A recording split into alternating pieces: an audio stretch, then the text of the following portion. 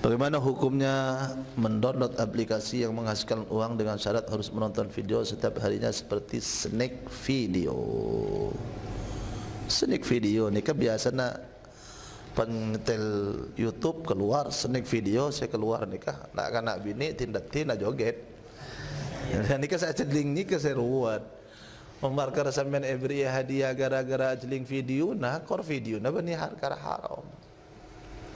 Ya kenyamanan mungkin tak jauh dari juala. Juala. Kaki kordai ya bingkai beri nadaiya.